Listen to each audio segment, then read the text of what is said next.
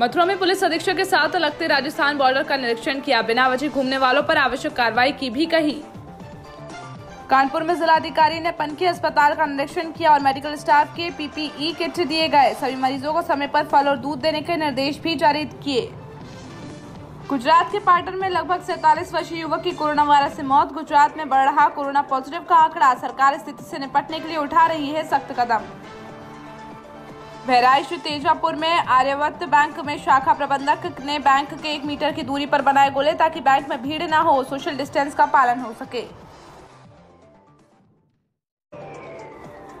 बांगरमऊ में ईदगाह के काजी सैयद जियाउल आरफी ने सभी मुसलमानों से घर में रहकर नमाज़ पढ़ने को कहा। मुस्लिम समुदाय को लॉकडाउन में सरकार का सहयोग करने के लिए भी कहा।